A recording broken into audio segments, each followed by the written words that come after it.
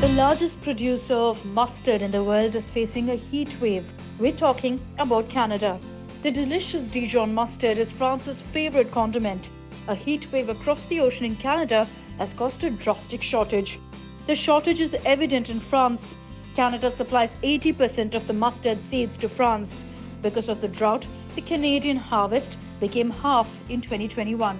This has propelled France to grow their own crop Remember, Europe is battling a fuel crisis and a power crisis post the Russia Ukraine war.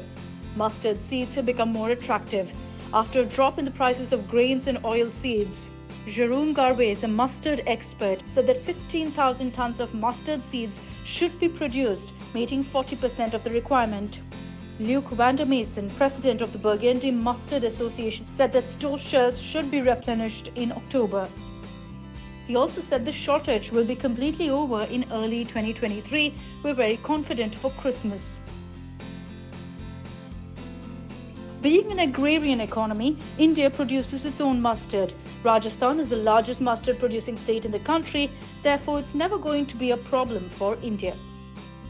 For more informative videos like this, keep watching India Today Newsmo.